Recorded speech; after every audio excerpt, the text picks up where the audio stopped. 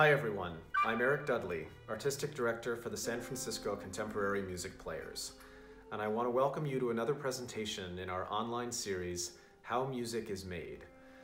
For today's program, we'll be presenting a performance of a truly unique and enigmatic work, The Concert for Piano and Orchestra by John Cage, featuring contemporary players pianist Kate Campbell as soloist, and a brilliant solo choreography by Bay Area deaf dancer and artistic director Antoine Hunter.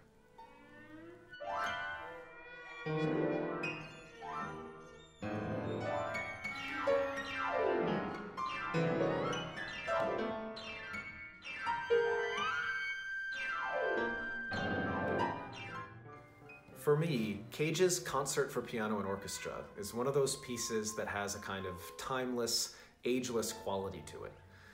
Even though it was written in the late 1950s, it still somehow manages to sound just as fresh and unconventional today as it must have sounded at its premiere more than 60 years ago. Part of the reason why is that, like a lot of Cage's other pieces, there is no traditional full score for the music. Instead, it's an assemblage of individual instrumental parts, where each player has a pretty great degree of freedom in terms of how they choose to execute it. And so by its very design, it's a kind of piece that can sound very different from one performance to the next.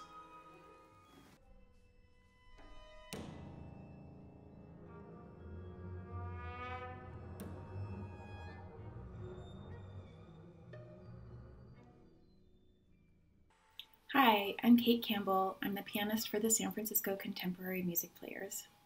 Performing the concert for piano and orchestra by John Cage was one of the most fun and creative projects that um, I've been able to do in a long time. The amount of preparation and choice that goes into preparing this work before you even get to the first rehearsal um, is really fascinating. And so I'm excited to be able to share a little bit of this process with you.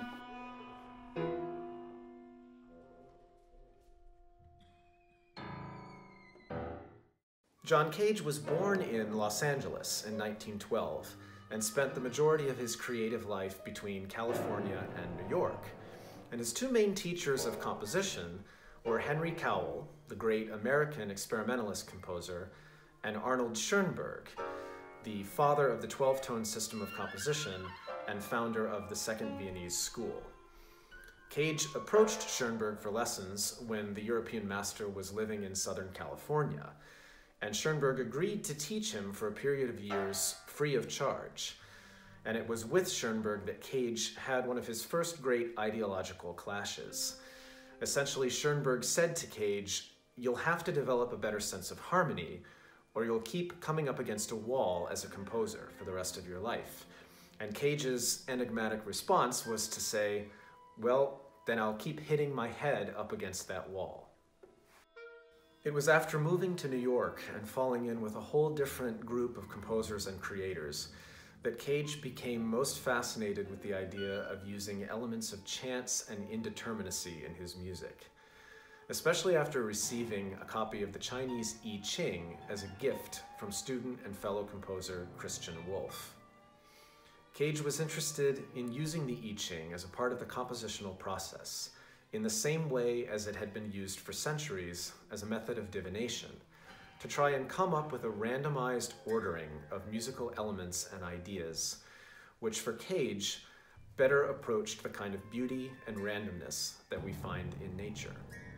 The more interested Cage became in having elements of indeterminacy in his music, the more license he started giving to performers in some of his pieces to play an even more active role in the actual creative process. And it's this kind of agency on the part of the performers that's most on display in a piece like the Concert for Piano and Orchestra. Even though there's a full set of instrumental parts with very specific musical ideas and notations by Cage, he also makes it plain in the instructions for the piece that it's largely up to the performers to decide on an individual basis how exactly each of those musical gestures should sound, in which order they should occur, and which ones should be played or left out. The length of the work is also up to the performers to determine, and even the makeup of the ensemble is flexible. So the piece can exist in different versions depending on the choice of the performers. So when I received the part for the concert for piano and orchestra, the piano part is a box, a large box of 53 loose pages. And on each page, there are any number of musical cells. So just a little bit of music floating on the page. Some of it is um, graphically notated, which means the way that it looks is going to affect the way that it sounds. Some of it looks pretty similar to composed music that we're all familiar with, but you can tell there's a little something different going on. And some of it looks nothing like the music that we're all used to seeing. And um, I knew that it was going to take a lot of exploration to decipher what was going on there. So each cell on the page is labeled with a letter. And at the very beginning of the score, there are two pages of handwritten performance notes by John Cage, and it basically reads like an instruction manual.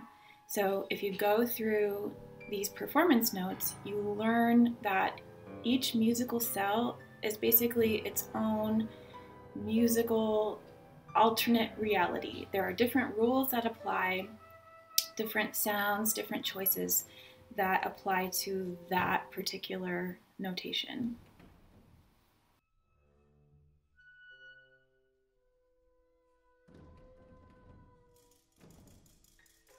After my several weeks of um, interpreting these instructions and making my choices, it was time to put my own piano part together for this performance. I still didn't really know how to do that. I had interpreted all of these musical cells, but um, any choice that I was going to make about how to put it together seemed a little bit meaningless. So I decided to take a page out of John Cage's playbook and make it random. Um, but I put a modern twist on it. So I actually uh, downloaded a randomizer spinning wheel app on my phone. And I put in um, all 84 letters of the score. And um, I, I slightly altered it because some letters appear many times, some letters appear only once. So I made it proportional to that and I started to spin the wheel. And um, that told me how to put the score together. So there were actually three random selections that had to be made. I would choose on my phone um, which letter to perform, and then how much of that letter to perform, and um, how much silence would come before and after. And I, I would place that music on my own sheet of paper, um, basically on a big drawing pad. I'll show you. So one page of that would look like this. Some of them are more full, some of them are kind of empty. So there would be uh, a musical cell and a, a little note about how much of it to play, and then a little note about how much silence would follow it. And when that music reached about one minute, I would start a new page so that each page of my score was roughly one minute so that I could follow roughly with the conductor um, and still retain a little bit of my own freedom. And we would um, hopefully end our interpretations of this piece at the same time.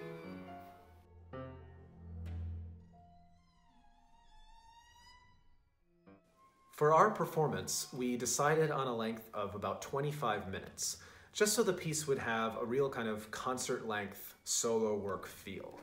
And the last kind of quirky element in that becomes the role of the conductor. And since each player is free to execute their part in whichever way they have chosen, there really is nothing to coordinate from a musical standpoint. So Cage simply asks the conductor to act as a kind of timekeeper, literally marking the passage of time by simulating hands on a clock face. And with one more twist, he actually asks that those minutes pass faster or slower based on a set of timings that he's given in the instructions in the conductor's part. In other words, One minute may have an extra 15 seconds as a part of it, and another minute may only actually last for 30 seconds. And it's up to the conductor to just show the differences by the speed with which their hands are going around the clock. Now, I can only guess as to why Cage might have been interested in having this element in the piece, but it does perhaps do something for the performers who are in the moment of possibly still making decisions as to how exactly to execute the decisions that they've already made. And perhaps seeing the urgency of a minute moving visually faster versus the relaxation of another minute moving much slower from a visual standpoint may actually still suggest something in the actual creation in performance. The final element of the concert for piano and orchestra is that it's also a partner composition to a dance piece by Cage's partner and longtime collaborator, Merce Cunningham. The title of that piece is Antic Meet, and just like Cage's musical composition, the dance composition is set up as a series of seemingly unrelated and randomized events. And the thing that's so apparent from the beautiful choreography created for us by dancer Antoine Hunter is the aesthetic that Cage and Cunningham were so fascinated with exploring for the majority of their creative work together, which is essentially that music and dance could function as separate and equally independent elements successfully in the same piece. The hundreds and hundreds of small choices that I made with this score, as well as the random selections that helped put our performance together, really only scratch the surface of how someone could interpret this piece. There are infinite numbers of choices to make and interpretations to follow. Um, there's no definitive performance or recording to rely on. Um, there is a wonderful quote from John Cage, which says, I must find a way to let people be free without their becoming foolish, so that their freedom makes them noble. And I really kept that at the heart of my process and felt that it kind of created this collegial feeling with, um, with John Cage and with the spirit of the piece. It's an amazing thing as a performer to get to work on putting together a piece of music like this, where everyone really feels as individual artists that they all have a role in the creative and compositional process. We had great fun putting it together, and we want to thank you for joining us for this online presentation and hope you enjoy the performance.